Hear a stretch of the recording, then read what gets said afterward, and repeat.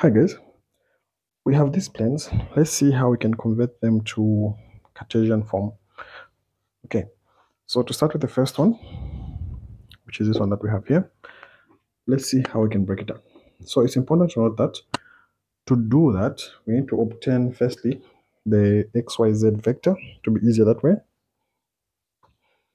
Once we obtain the xyz vector, what we're obtaining in short is the Uh, parametric form of this particular line. So r represents any position vector of a point on a plane. So r is as good as x, y, z, which is equals to this point, which is 1, 1, negative 4, plus lambda, 2, 2, 3, plus mu, negative 3, 0, negative 1. Okay. So let's uh, change this to parametric form. To do that, we're going to say x is equals to everything that we have in the first row. So x is equals to 1 plus 2 lambda minus 3 mu. We'll go for y. So y is equals to 1 plus 2 lambda.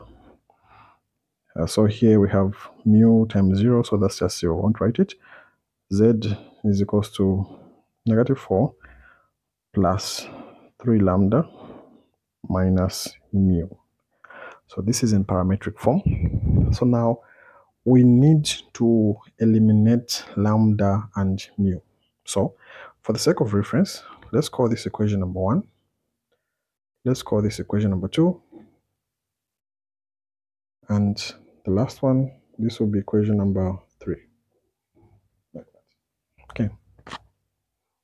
So to eliminate mu, the first thing we're going to do is we're going to subtract equations one and two.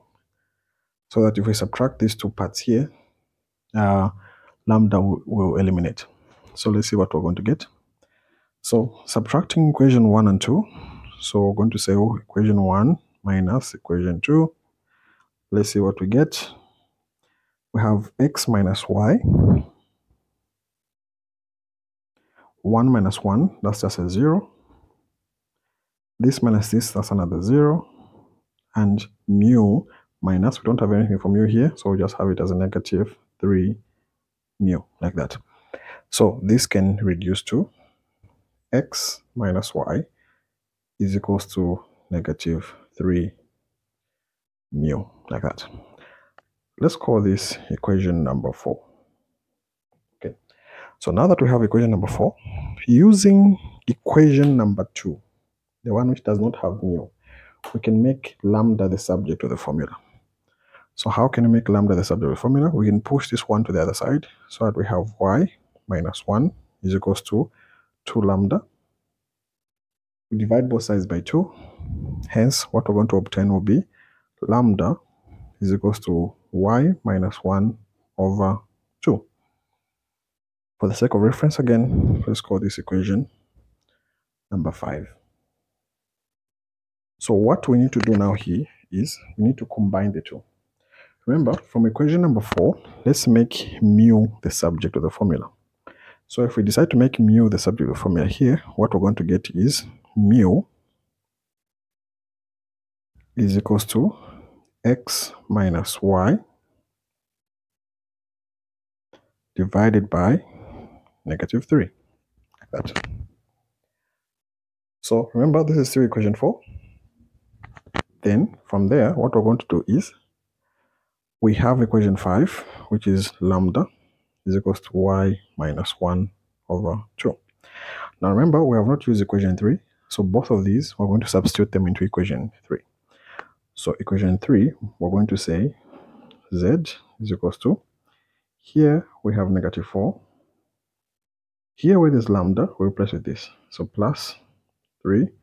Where there's lambda, we'll put y minus 1 over 2.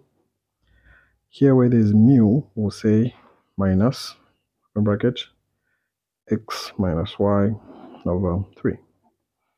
That's what we have. Remember, the 3 is a negative. Okay. Then now, from there, what we're going to do is we can get rid of this 2 and this 3 here. But first of all, we can say z is equals to negative 4 plus 3, open bracket, y minus 1 over 2.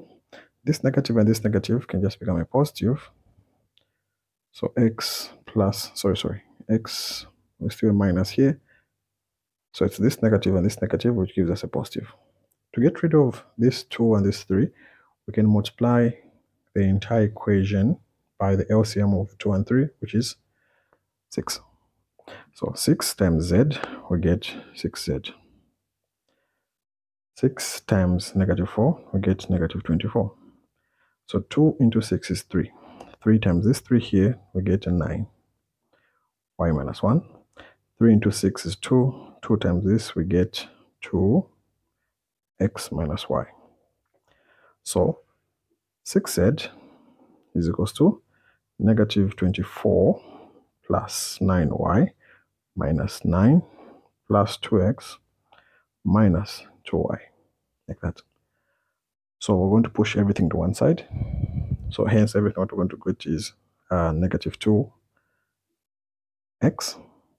The y also goes that side. Now remember we have this y and this y here. So 9y minus 2y, we get 7y. So if it crosses the equal sign, it's going to become a minus 7y. We have 6z, so we can say plus 6z. Now, how many constants do we have? We have negative 24 and 9. If we put these two together, what we're getting is negative 33. So this is the equation we're looking for. Let's look at the second question. Remember, we have two questions. Let's see how we can do it as well. The procedure is just the same.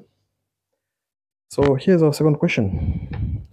So again, R can be written as the column vector xyz. So we can write this as xyz, which is equals to 211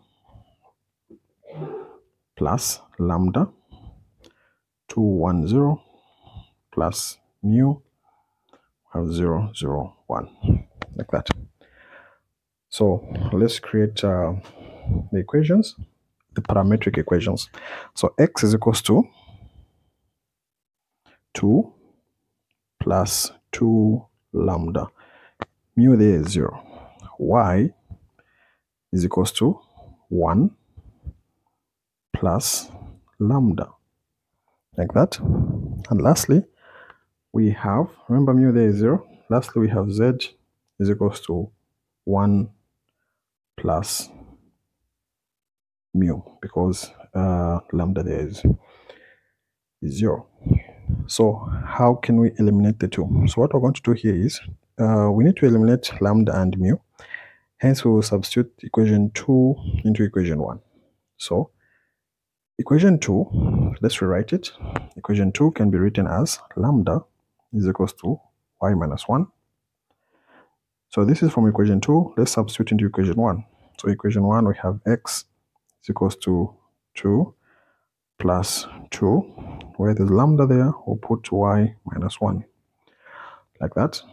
So this will give us x is equals to 2 plus 2y minus 2.